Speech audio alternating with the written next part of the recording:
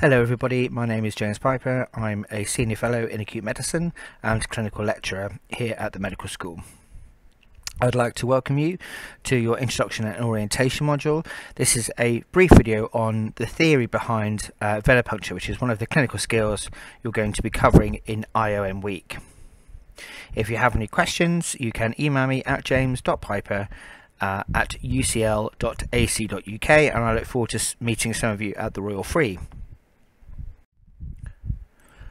I'm going to talk about um, aseptic non-touch technique in venipuncture, needle stick policy, common sites of venipuncture, venipuncture technique, correct blood bottles, blood cultures and competencies.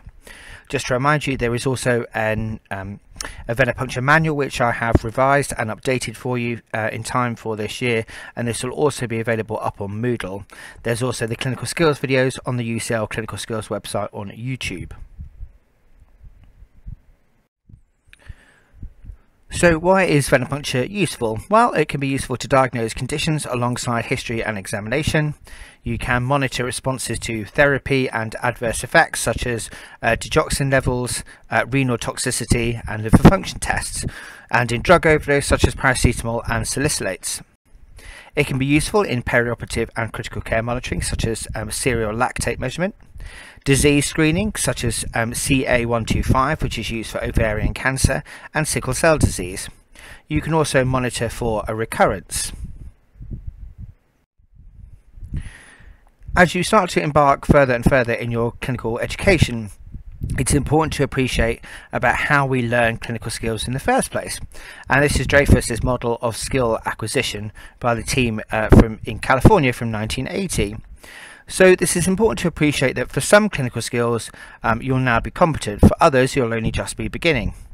For some of you, you will have already um, done venipuncture training in um, other forms, um, but some of you, or most of you, will be a novice, i.e. you're going to learn how to learn, to do, then to teach.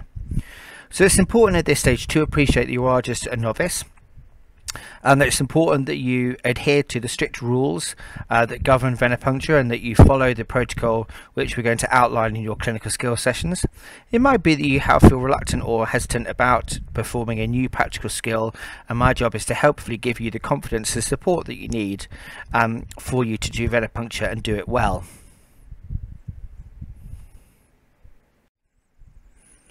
So it's important to remember that um, when you do venipuncture uh, that you use your aseptic non-touch technique and that you must not touch any of the key parts.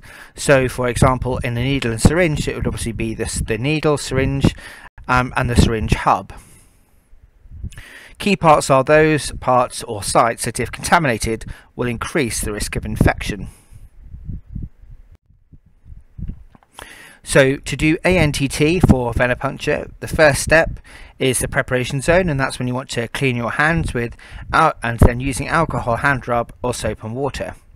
You then want to clean the tray with a detergent white and rinse any residue and dry the tray. You're going to gather all the venipuncture equipment that you need and you're going to prepare the equipment protecting key parts using the non-touch technique. In the patient zone, you're going to apply disposable tourniquet and palpate the vein. Clean your hands again with soap and water uh, or alcohol hand rub. Then apply non-sterile gloves and clean the skin. Access the patient's vein protecting key parts and sites using a non-touch technique. If you are successful and collect the blood samples that you require, you're then going to go into the decontamination zone where you're going to dispose of sharps and equipment, clean the tray, dispose the gloves, and then clean your hands again. There are three important tenets of preventing a needle stick injury. The first one is safe preparation by use of gloves, considering eye protection, masks, and apron. Masks are currently mandatory on most NHS sites, as well as using your ANTT to protect the patient from any healthcare associated infection. Safe handling of needles, including never resheathing needles or bending them, and that if you are struggling to access the veins to take blood samples, then you should call for help. It's also important to safely dispose of any equipment, never leave exposed sharps, and to use the sharps bin for disposal. So for those of you who are going to be studying at the Royal Free, this is the needle stick policy and this is probably the same apart from the phone number which will apply to all trusts. So basically you must ensure that any needle stick injury or accidents must be reported to your immediate supervisor. If there is a risk of splash, consider wearing eye protection and a visor. Contact the needle stick hotline which is for Royal Free 020 7794 3301. That's 020 7794 3301. There's also a needle stick hotline, as I've just said. Complete the incident Datix form, and if you're on nights or out of hours, then you must attend the emergency department for assessment. The occupational health team have also asked me to remind you that even if you see the emergency department overnight or out of hours for a needle stick assessment, you must still get in touch uh, with occupational health um, as soon as you have an opportunity to. So this applies to you all regardless of site. So uh, immediate action after a needle stick injury is if you have any mouth, eyes, nose are involved, then wash thoroughly with water. If the skin is punctured, encourage bleeding and wash with soap and water.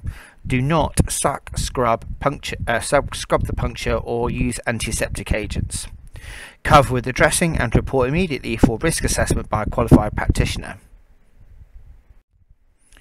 So risk assessment should be done independently. So i.e. this is the, the risk of you contracting a bloodborne virus from the patient or the other way around. So therefore it's important to do this to protect you and the patient and to do this independently. You want to know the circumstances of the exposure, percutaneous, mucous membranes, deep, superficial, blood, body fluid involved and the type of device which caused the needle stick the infection status of the staff and the patient, and you may be required to give blood samples for save and screen.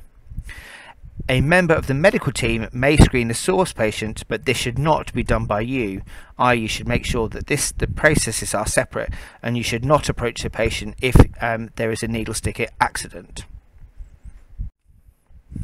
So to have a look at the venous anatomy now, you can see here on the left side, these are the major veins in which you may take venipuncture from. And these include the median cubital vein, basilic vein, cephalic vein, and brachial vein. You'll notice, however, on the right hand side that there are there's the ulnar artery and the radial artery that run in tandem, and it's important uh, in your practices that you feel for a pulse around the area which you're planning to venipuncture to exclude the risk of um, arterial puncture, which can cause significant bleeding and bruising. Also, be mindful of the patient's um, running nerves. It's important to be mindful of the musculocutaneous nerve, which covers all muscles in the anterior compartment of the arm, the median nerve, which covers most flexors in the forearm, and the thenar muscles in the hand. The radial nerve, which covers all muscles in the posterior compartment of the arm, Patients who receive an accidental needle um, scratch to the nerve can cause a lightning pain down the arm and so if you're taking blood and a patient complains of immediate shooting like pain then you should pull back the needle and withdraw. So where should you avoid taking blood? So you should avoid taking blood in veins that are fibrosed, inflamed and fragile. Those are bruised, areas of uh, infected skin and tissue, side of a stroke, mastectomy or axillary node clearance because of the risk of lymphedema. Areas affected by disabling disease, limbs with IV or subcutaneous infusions because of the risk of contamination and incorrect readings, fistulas, arteriovenous malformations and coagulopathy.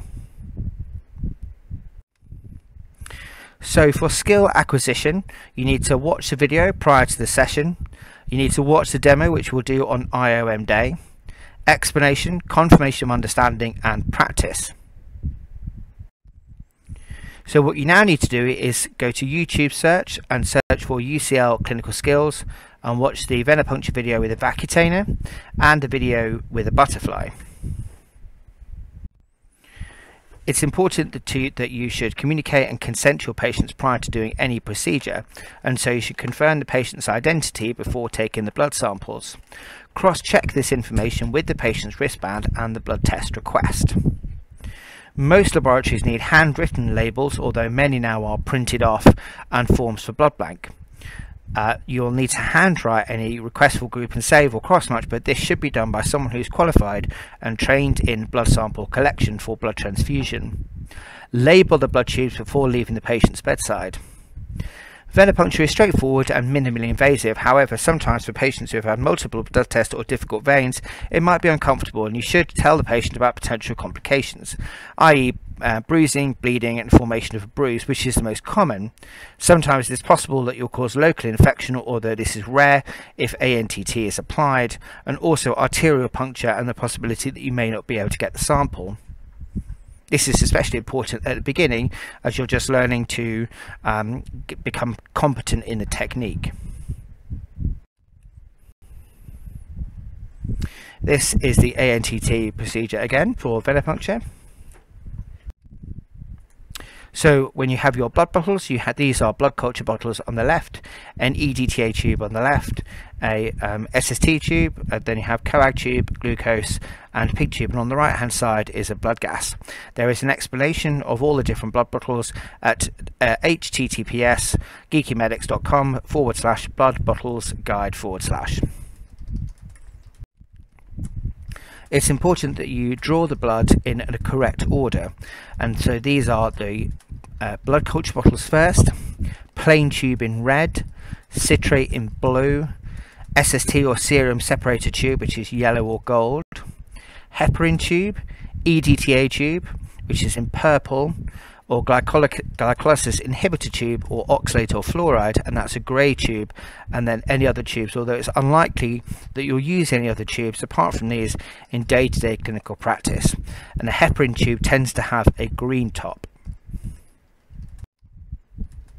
So what do all the different um, color coded bottles mean? So for red bottles we usually perform virology samples, serology PCR such as an HIV test, minerals, antigens and vitamin D levels. In the light blue top we can perform a coagulation screen, INR and D-dimer. In the purple tube we can perform hematology tests such as for blood count, blood film, ESR and HbA1c. Yellow is the biochemistry, and where you can form urea and electrolytes. Most bi biochemistry tests, bone profile, troponins, thyroid function tests, and the CRP. Pink topped blood bottles are for group and save and cross match and for hemolysis screening. The grey also is to measure glucose, and some trusts uh, use grey bottles to measure serum lactate. So blood cultures are used to detect bacteremia or fungemias. It's important to identify microorganisms and perform antibiotic sensitivities so that we know our patients are on the right antibiotics. You're going to take the blood cultures when there's a clinical need such as sepsis and you should not take them if there is no intention to treat any organisms found. So for example if the patient is receiving palliative care. What's important to note about blood cultures is that there is a high risk of sample contamination um, and you, this can obviously cause um, quite significant issues for the trust. You must perform meticulous ANTT when doing blood cultures and the patient's skin must be decontaminated thoroughly. When you do blood cultures you should super clean the site. You may need to use soup and water even before you use an alcohol wipe on where you're planning to take the blood from. If blood is being collected for other tests, it's always important to inoculate the blood culture bottles first. You should use an alcohol wipe to clean the tops of the culture bottles to decontaminate them, and you usually fill the anaerobic bottle first. Blood culture volume is the most significant factor affecting the detection of organisms, so make sure the sample is large enough with about 5 or so mils. And ideally, if your patient is septic, then you want to collect the blood before antibiotics commence. So just a couple of pearls for you for when you go out and start to learn how to practice. You can take blood from a cannula immediately before connecting any infusions. However, you should never take blood from lines in use or from infusion arms. If a patient is very anxious or has fainted during venipuncture previously, then ask them to lie down when having their blood taken. Do not ask the patient to clench their fist to make a vein more visible. This can actually affect the test results, causing what's known as pseudo-hyperkalemia or a fake high potassium. If the patient is taking anticoagulants, then you should apply venipuncture, uh, pressure to the venipuncture site for about 10 minutes and you should avoid femoral puncture. Again, this is only usually done by experienced doctors. So what should you do next? So having watched this video, you should now go and watch the skills videos. You should attend your allocated venipuncture IOM sessions and I suggest you bring your logbooks with you.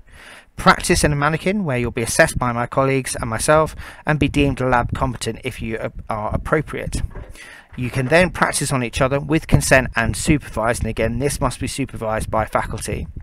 And you should aim to achieve full competency by taking supervised opportunities. Some of you will achieve this quicker than others. It's not a race and it's important to remember that each, each of you will learn and adapt to a different skill individually and in your own time. It is far better for you and for your patients that you take the time necessary to practice because it can take quite a long time to actually be competent and good at venipuncture on a variety of patients. So here are some references. There's a fairly short learning module on uh, learning BMJ. There's the Geeky Medics website, and also um, this is a phlebotomy handbook from the World Health Organization. The link there is at the bottom. If you have any questions, you can obviously ask your IOM venipuncture tutor, the teaching fellows, and the skills team. So good luck on your learning on a, on your journey of learning a new skill. I'll see some of you at the Royal Free and at the Royal Free IOM. My email address is james.piper, P-I-P-E-R, at ucl.ac.uk. Good luck and welcome to your clinical years.